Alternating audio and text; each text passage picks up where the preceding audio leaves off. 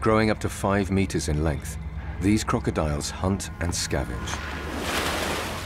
There's a lot of crocs. Mm. Yeah.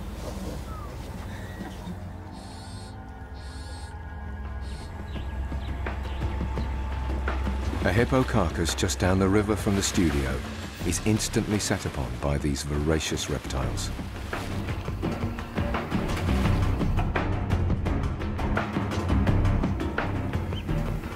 This is about 100 meters in front of us, a classic Luangwa scene. A dead hippo in the water and about 30 crocodiles.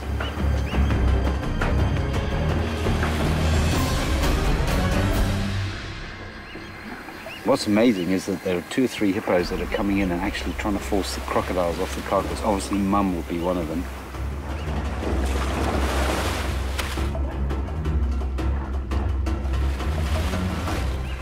There seems to be a whole gang that are trying to force the, crocs off while they tear this thing to pieces. So it's pretty primeval, the whole thing. Hippos and crocodiles normally coexist peacefully, but crocs will take every opportunity to prey on a weak animal or scavenge a dead one. We've seen one or two of these hippos doing these big yawning displays, which is really a threat to the crocodiles. They're trying to drive the crocodiles off with this big yawn and, you know, sharp teeth and everything, but the crocs obviously are not intimidated by that at all. And the crocs are here in numbers, so that, you know, the hippos have got no chance really of driving them off.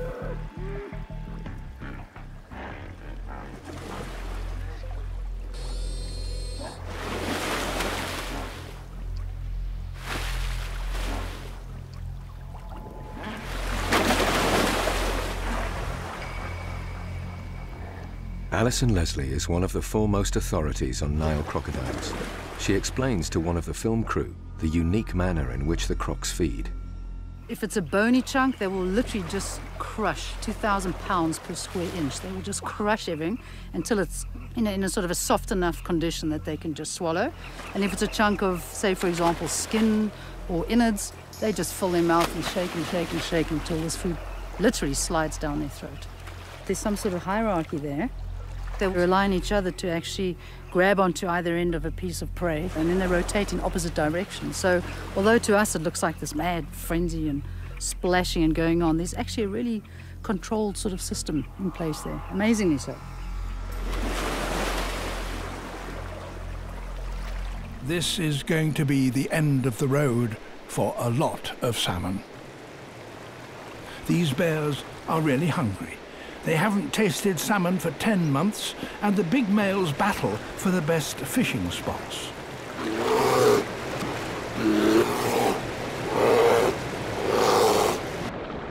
The longer the salmon take over their journey upstream, the weaker they become. And these falls present them with their biggest challenge yet. Although the falls aren't very tall, the bears hold the high ground. The salmon make short, exploratory leaps to see where the bears are.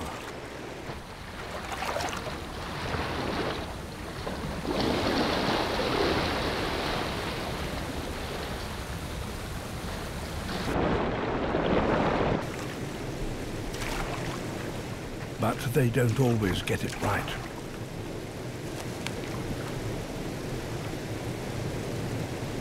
This mother bear has been waiting months for this moment. Competition is fierce for these first salmon, even between the mother and her own cubs.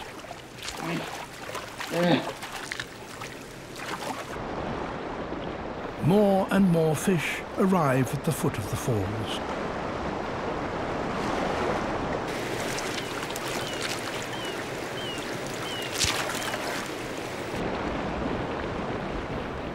Eventually, they have to go for it, regardless of the danger.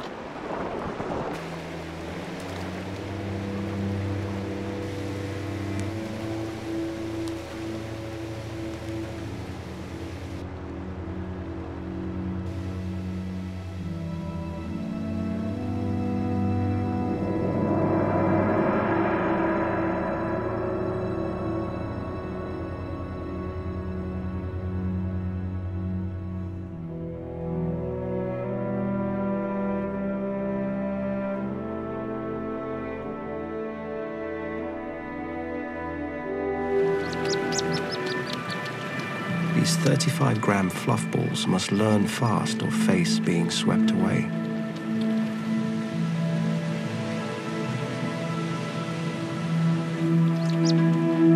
Mum leads them down the side of the falls.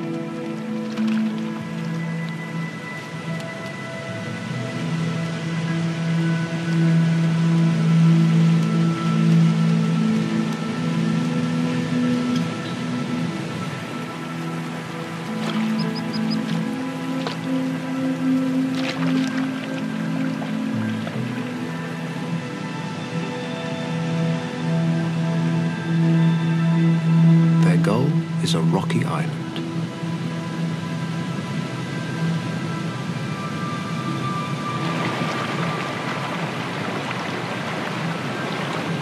Mum and Dad gather their chicks, and they're off.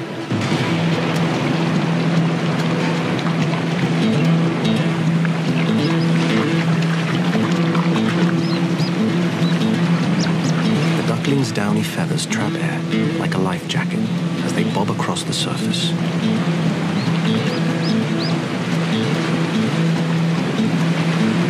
It's a good start.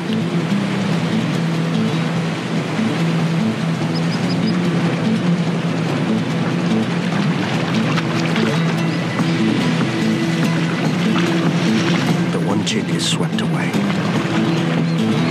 Mum and Dad look frantically for their missing duckling.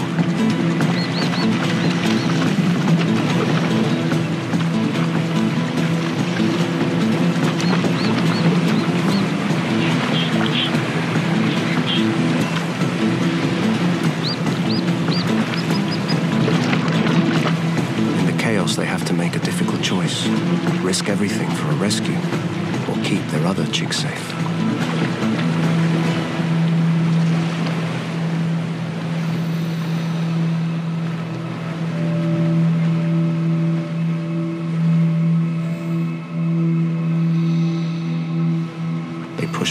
Final current to the rock. Mum makes a break for it.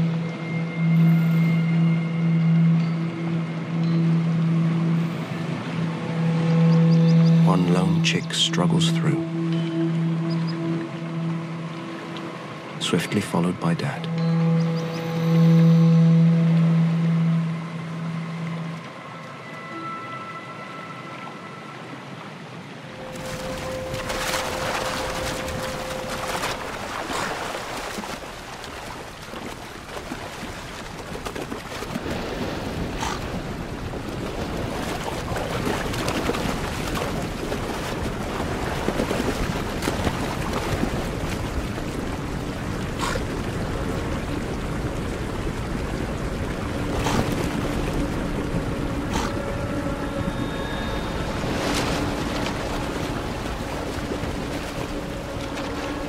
The current is so strong it carries them downstream through the territory of ill-tempered hippos.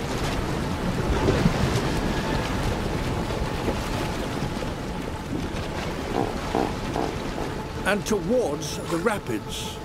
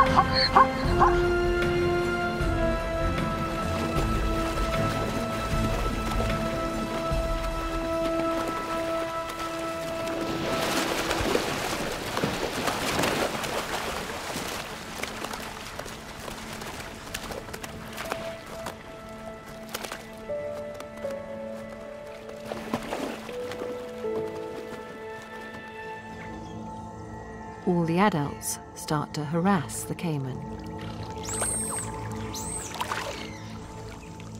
As the cubs keep their distance, Sophia takes her position at the front, sizing up the caiman. Others move in to try to distract it.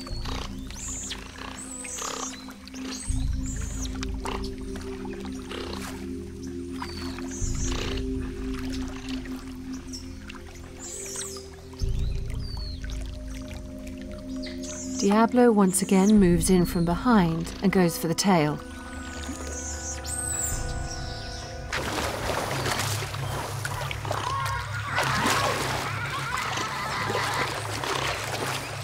But the caiman refuses to back down. And then begins to fight back.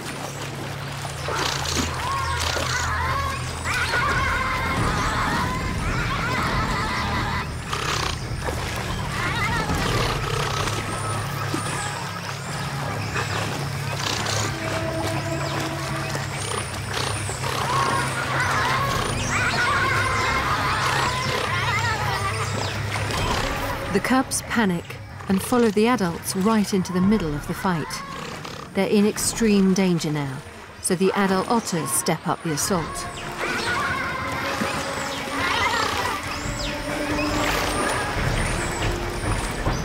The caiman tries to head for the safety of the bushes, but it's too late.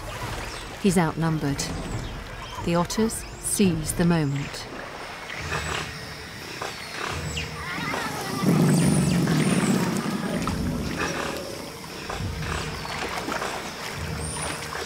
Incredibly, they overpower the caiman, some holding it down, others biting it in the head.